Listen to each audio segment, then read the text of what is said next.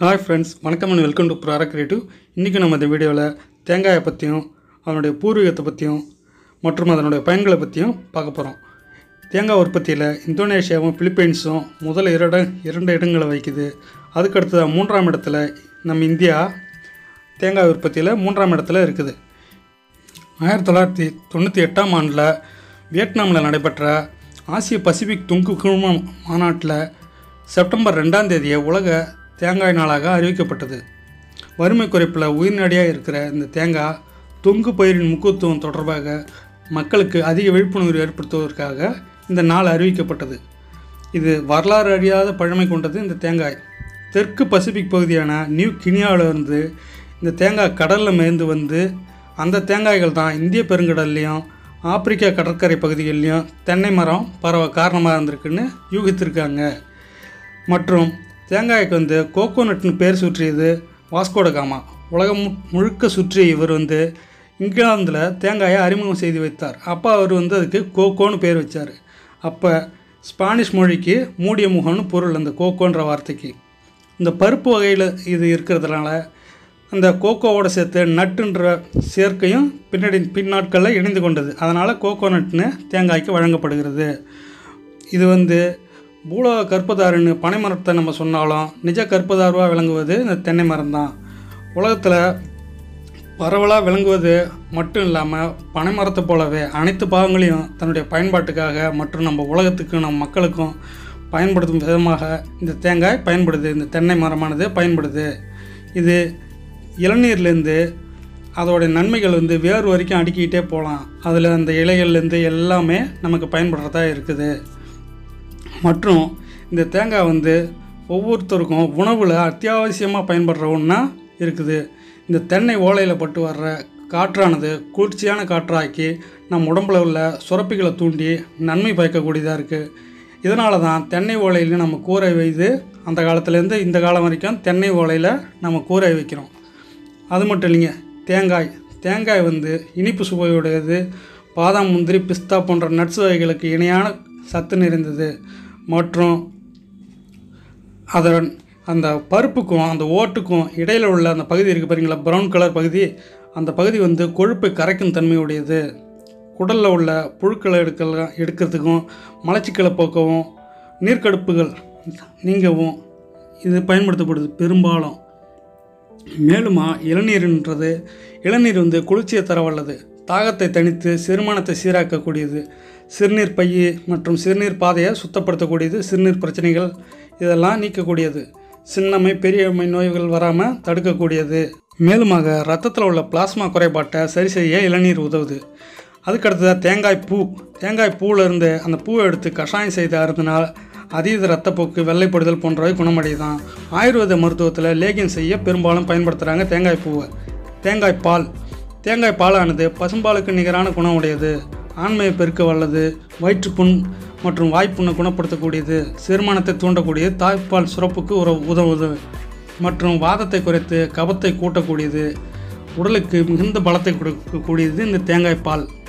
மற்றும் தேங்காய் பாலை காய்ச்சி வடித்து எடுக்கிற அந்த எண்ணெய் வந்து உருக்கு தேங்காய் எண்ணெய்னு சொல்லப்படுது. அந்த உருக்கு தேங்காய் எண்ணெய் ஆயுர்வேத மருத்துவத்தில் நீலிபிருங்காதி ஆயில் தயாரிக்க உதவுது. இந்த நீலிபிருங்காதி தாய தைலம் வந்து இன்றளவும் கிடைக்குது நமக்கு. இது முடி கருப்பாகவும் அடர்த்தியாகவும் வளர உதவுது. தேங்காய் எண்ணெய் அடுத்தது தேங்காய் எண்ணெய் எடுத்துக்கிட்டிங்கன்னா பொதுவாக பார்த்தீங்கன்னா கேரளாவில் இதய நோய் வந்து இந்தியாவிலே குறைவான கே இதய நோய் உள்ளவங்க கேரளாவில் தான் இருக்காங்க. அதுக்கு காரணம் என்னென்னா அவங்க சமையலுக்கு பிரதானமாக பயன்படுத்துகிறது தேங்காய் எண்ணெய் தான்.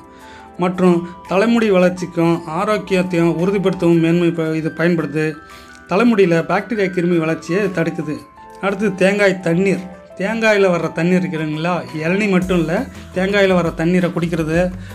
அதுவும் மிகவும் சோ சோ- அது வந்து ரொம்ப டேஸ்ட்டாக இருக்கிறது மட்டும் இல்லைங்க. ஏழு நாள் தொடர்ந்து குடிச்சிங்கன்னா நம்ம உடலில் பல ஆரோக்கியமான மாற்றங்களை நம்ம கண்டு அறியலாமா? நோய் எதிர்ப்பு மண்டலம் வலிமையாகுது சிறுநீர் பாதை தொற்றுக்கள் ஈர் நோய்கள் குணமாகுது. காய்ச்சல் சளி இருமலை ஏற்படுத்தும் வைரஸ்களை அழிக்கக்கூடியது இந்த தேங்காய் தண்ணீர்.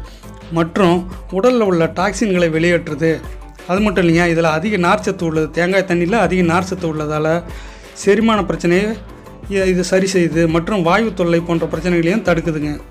தேங்காய் தண்ணீர் எவ்வளோ குடித்தாலும் அது உடம்புக்கு கொழுப்புகளை சேருவதை குறைச்சி பசியை கட்டுப்படுத்தி உடல் எடையை அதிகரிப்பதை கூட தடுக்குதுங்க. காலையில் ஒரு கப்பு தேங்காய் தண்ணீர் குடித்தா அது உடலில் உள்ள எலக்ட்ரேட்டுகளை சீராக்கி உயர் ரத்த அழுத்தத்தை குறைக்குதாங்க.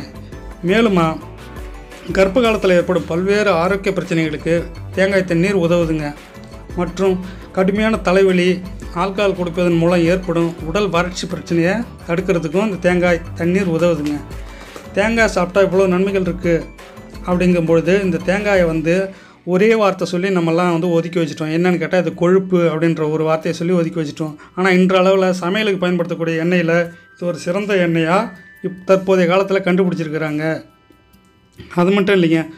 உலகத்தின் மிக தூய்மையான நீர்னு ஒரு நீர் இருக்குன்னா அது இளநீரில் இருக்கிற அந்த தண்ணி மட்டும்தாங்க. ஏன்னு கேட்டால் வேறு வழியாக அந்த நீரை உறிஞ்சி அதை வந்து உயரத்துக்கு எடுத்துகிட்டு போய் ஒரு ஒரு ஒரு சொம்பு அளவு தண்ணீரை வந்து கொத்தாக வச்சுருந்து அதை நம்ம கொடுக்குதுன்னும் போது அந்த அற்புதம் வந்து இந்த இளநீரில் மட்டும்தான் கிடைக்கும். இன்னும் ஒன்று மனித கரங்களால் இது வந்து அதில் இதில் பட்டு அப்படி இப்படி மாசுபடாத ஒரு நீர் அப்படிங்கிறது இந்த இளநீர் தாங்க இரண்டாம் உலகப் போரில் வந்து போர்க்களத்தில் காயப்பட்ட வீரர்களுக்கு அந்த அவசர காலத்தில் குளுக்கோஸ் கிடைக்காத போது அந்த உடம்புல செலுத்துகிற அந்த குளுக்கோஸுக்கு மாற்று மருந்தாக இந்த தேங்காய் தண்ணீரை தான் செலுத்தியிருக்கிறாங்க.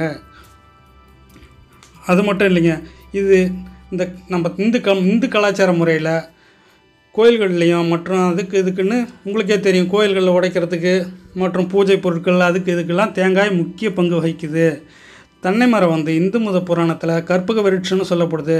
இதற்கு கேட்டதை கொடுப்பது என்று ஒரு பொருள் உண்டு.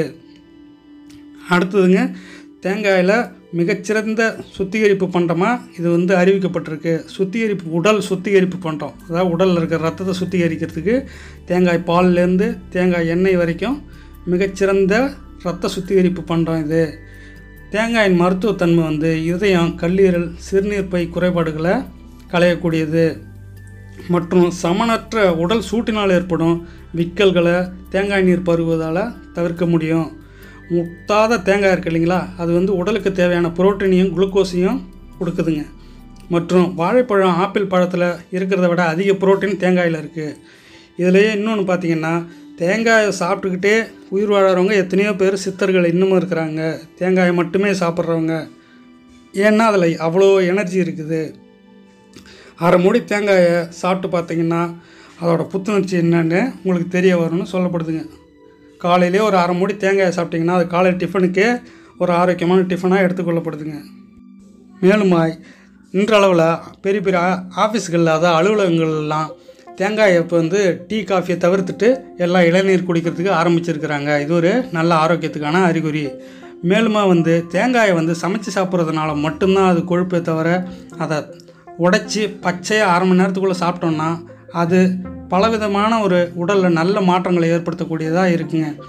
மற்றும் சமைக்காமல் உண்றது தான் தேங்காயில் மிக சிறந்த வழி. அடுத்ததாக குழந்தைகளுக்கு வந்து தாய்ப்பாலுக்கு மாறாக தேங்காய் பால்லாம் கொடுத்து காப்பாற்றியிருக்கிறாங்க ஒரு காலத்தில். அது மட்டும் இல்லைங்க இறக்கும் தருவாயில் இருக்கிற நபர்களுக்கு தேங்காய் பாலை கொடுத்து வாழ்நாட்களை நீட்டிக்க வச்சுருக்கிறாங்க. ஆனால் இப்போ தான் நம்ம வந்து வேறு மாதிரி பால்லாம் ஊற்றி உடனே சீக்கிரம் கொள்றதுக்கு வழி பார்க்குறாங்க ஏன் ரொம்ப நாள் வந்து அவங்க வந்து கஷ்டப்பட்டுக்கிட்டு இருக்கிறாங்கன்னு. ஆனால் அந்த காலத்தில் தேங்காய் பாலை கொடுத்து அவங்கள வந்து கொஞ்சம் ஆரோக்கியமாக வாழ வச்சுருக்கிறாங்க. அது மட்டும் இல்லைங்க தேங்காயை துருவி அதோட பால் எடுத்து அதோட நாட்டு சர்க்கரை கருப்பட்டியெல்லாம் சேர்த்து தேன்லாம் சேர்த்து பாக்கெட் பாலை தவிர்த்துட்டு குழந்தைகளுக்கு கொடுத்தா அதை விட ஆரோக்கியம் வேறு எதுவுமே இல்லையா ஓகே ஃப்ரெண்ட்ஸ் இந்த வீடியோவில் ஃபுல்லாக தேங்காயை பற்றி பார்த்தோம். இந்த வீடியோ உங்களுக்கு பிடிச்சிருந்துன்னா லைக் பண்ணுங்கள் உங்கள் ஃப்ரெண்ட்ஸுக்கு ஷேர் பண்ணி விடுங்க.